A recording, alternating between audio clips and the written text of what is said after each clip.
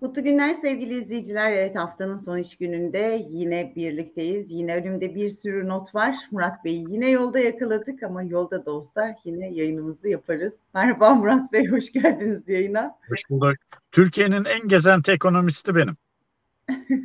İş için geziyorsunuz ama ne yapalım sağ olun. Bu arada da bize vakit ayırıyorsunuz. Çok teşekkürler.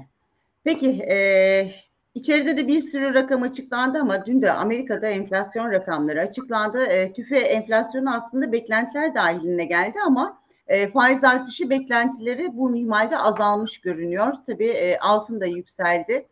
Bu rakamlara ne diyeceksiniz? Faiz artışı beklentileri azaldı. Faiz eğer bu ay pas geçerlerse e, ne olur? Altının yükselişi devam eder mi? Dolar kurları ne olur? Bize yansıması ne olur? Dilerseniz dışarıdan içeriye doğru başlayalım. Şimdi e, önce şunu söyleyeyim. E, Covid-19 pandemisi nedeniyle ortaya çıkan sorunu adamlar çözdüler. O sorunu çözerken kullandıkları e, bu parasal genişlemenin yarattığı enflasyon sorununu da çözüyorlar. Niye çözüyorlar? Nasıl çözüyorlar? Adamlar rasyonel aklın ve bilimsel yöntemin gereğini yapıyorlar. Ekonomi bir bilimdir. Zikzak çizmiyorlar. Yapacaklarını şeffaf ve net olarak duyuruyorlar. Dahası e, güven veriyorlar. Yani insanlar Aa, bunlar bunu yapar diye güveniyor. Niye?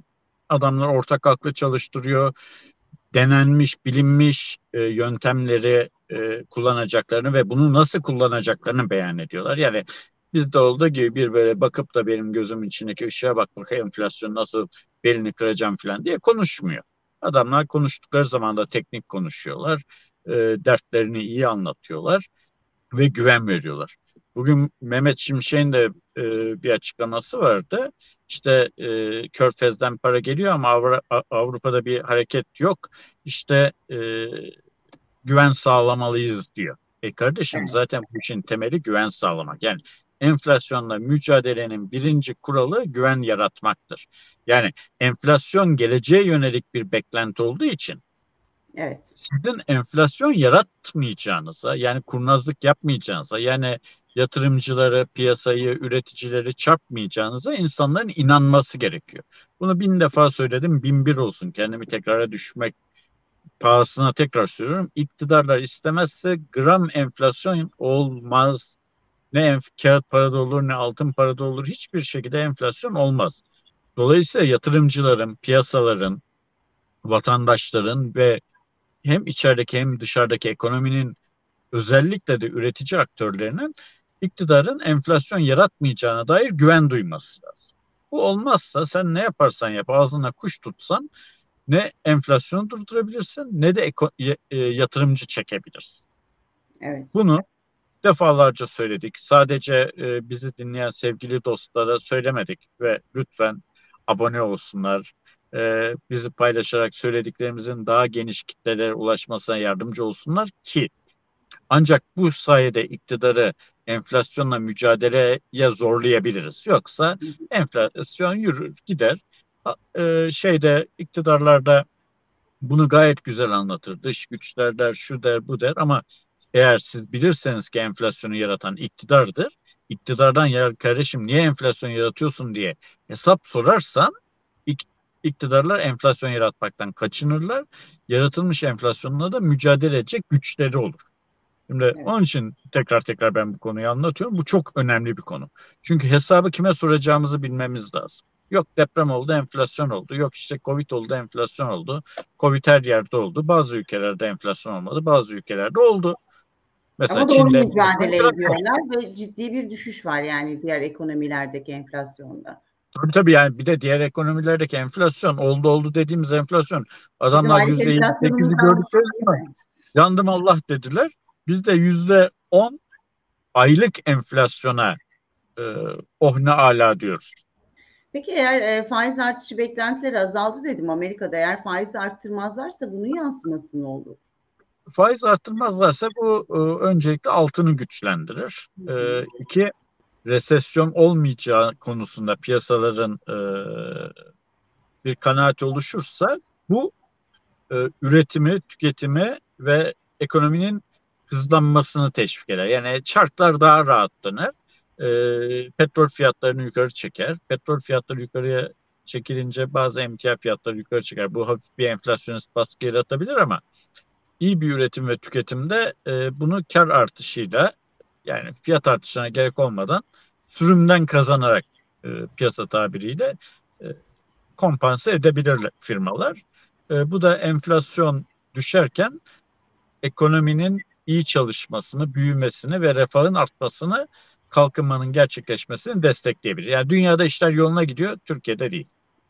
Evet, maalesef. Yani bak peş peşe bir sürü sıkıntı geldi. Önce Covid dedik, arkasından Ukrayna-Rusya savaşı dedik ama akıllı yönetilen ülkeler bu sorunları kompanse etmeyi, ekonomilerine, vatandaşlarına zarar vermeden atlatmayı başarıyorlar. Evet. Tabii canım geçen kış yani doğal gazları bile nasıl yakacağız, nasıl ısınacağız endişesi yaşayan bir Avrupa'dan yani bugün gerçekten ciddi sorunlar çözülmüş e, ülkeleri görüyoruz. Peki içeri girecek olursak cari işlemler hesabına bir bakalım. Haziranda 674 milyon dolar fazla vermişiz. Yani bu 20 ay sonra ilk defa fazla vermiş oluyoruz ama cari açığa baktığımızda ilk yarıda 36.8 milyar dolar olurken e, bir de net hata 90 kalemimiz var. O da 7.15 milyar dolar açık vermiş görünüyor. Peki bu rakamlar ne anlatıyor bize? Yani net hata 90'dan başlayayım. Ee, bir kere ekonomide e, ölçemediğin, bilemediğin şeyi yönetemezsin. Aslında net hata noksan demek ben bu işi yani ülkedeki döviz hareketlerini ölçemiyorum, bilemiyorum demektir. Bilmediğin şeyi de yönetemezsin. Ne demek yani net hata noksan diye bir şey gelişmiş, çağdaş, modern ekonomilerde kabul edilebilir bir şey değil. İstisnadır o da böyle işlem gecikmesinden falan yani böyle 10 milyarlarca dolarlık bir net hata e, noksan diye bir şey olmaz. O e, bilmediğim bir şeyi olsa olsa yöntemiyle net hata noksan diye bilançolaştırmaktır. Evet. Bu bilim sadece ekonominin ne kadar kötü yönetildiğini, ne kadar yanlış ölçüldüğünü, daha doğrusu ölçülemediğini gösteren bir parametredir.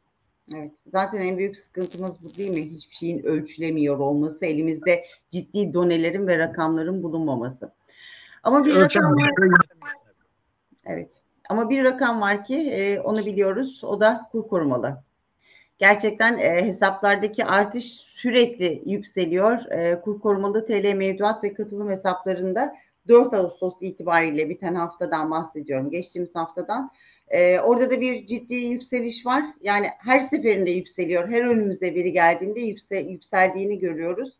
E, bu da yani doların 1 lira bile aslında hep e, hesabını da yapıyordunuz. 1 lira bile yükselse bize ne kadar maliyeti olacağını bildiğimiz bir şey. İşte süper bono denildi, yerine o konulacak denildi. Onunla ilgili de bir açıklama yok. Biraz da bu kur korumalıyı anlatır mısınız bize? Şimdi e, kur korumalı e, vatandaş alıştı. E, bedava e, future option yapıyor. E, kur yükselse de kazanıyor, yükselmese de kazanıyor. E, dolayısıyla insanların rahatına gidiyor. Muhtemelen e, bu artışın ana sebebi insanlar e, vadeleri dolunca e, ana para artı faizini çekip yeniden kur korumalı yapıyorlar.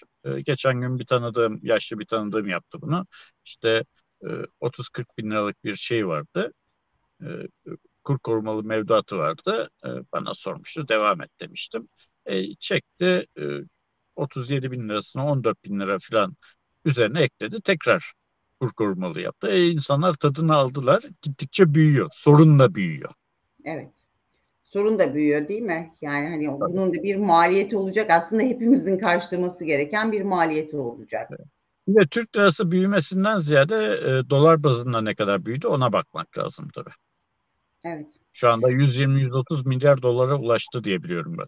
Evet. Peki diğer taraftan baktığımızda da e, kredi kartı harcamaları rakamları da ortaya çıktı. E, kart ödemeleri hacmi e, bir önceki haftaya göre bir artış yaşamış. E, tabii bunda en etkili olan yani ilk sırada yer alan e, market alışverişi. İnsanlar gerçekten demek ki hani artık peynir, ekmek bir, şeyler yani evine erzak alabilmek için sadece kredi kartını kullanıyor. İkinci sırada da okullar açılacak tabii az bir süre kaldı. E, ikinci sırada da eğitim ve kırtasiye masrafları görünüyor. Ee, aslında bu son derece normal Ebru. Kültür değişiyor. Yani özellikle pandemi sonrasında kağıt paradan böyle para saymaktan uzak durmak, paraya dokunmamak, nakit para yerine kur, e, şeyle, kredi kartı veya debit kartlarla alışveriş yapmak, internet üzerinden alışveriş yapmak e, yeni bir yaşam kültürü doğurdu. bu pandemide çok hızlandı. Ya da kazandığınız para yetmediği için kredi kartıyla yaşamaya çalışmak. Kredi kartını ne kadar kredilendirdikleri ayrı bir konu. Yani bunu ne kadar kredi olarak kullandıkları, ne kadar ödeme aracı olarak kullandıkları ayrı bir konu Ebru. Yani kredi kartı kullanımı zaten bir ürünün diyelim ki bir şişe kola alıyorsun 20 liraya alırken kredi kartını çektin mi 20 lira. 40 liraya alırken çektin mi 40 lira bir anda kredi kartı kullanımı yüzde 100 artmış oluyor. Şimdi burada bakmamız gereken şey bir e, kredi kartıyla yapılan harcamalar aslında enflasyonun da ne kadar arttığını gösterir bize. Evet. Eğer miktarsal bir artış yoksa sadece tutar artışı varsa. E, iki kredi kartını ne kadar kredilendiriyoruz? Yani kaç kişi ne kadar asgari ücret, asgari tutarını ödeyerek kartı taklattırarak kullanıyor. Ona bakmak lazım. Bir de tabii önemli olan şey kredi kartlarından ne kadar nakit çekiliyor. Bu taksidi nakit avans falan. Bütün bu detaylara bakmak lazım. Ama kredi kartının şöyle bir güzel özelliği var Ebru. Kredi kartı aynı zamanda ekonominin kayıt altına alınmasını da sağlıyor. Netice sonunda her işletme kredi kartıyla sattığı mal resmi olarak bankaya girdiği için onun kadar fatura kesmek zorunda. Aslında e, şeyin e, Sayın Erdoğan'ın en büyük şanslarından biri de bu. E, Erdoğan'ın iktidara gelmesiyle beraber Türkiye'de kredi kartı kullanımı da teknoloji değişti. Kredi kartı kullanımı da yoğunlaştı. Yoğunlaşınca ekonominin kayıt altına alınan kısmı da ciddi miktarda arttı. Özellikle evet. parakendeye yönelik şeylerde. Evet. Peki bugünü böyle noktalayalım. Ee, yarın soru cevapta yeniden birlikte olacağız. Yarın cumartesi soru ve cevaplar e, sorularınızı da yazarsanız soru ve yorumlarınızı e, yarın e, yanıtlamaya çalışırız diyelim. Bugünü böyle noktalayalım. Yarın görüşmek üzere o zaman. Görüşmek üzere. Hayır, iyi günler.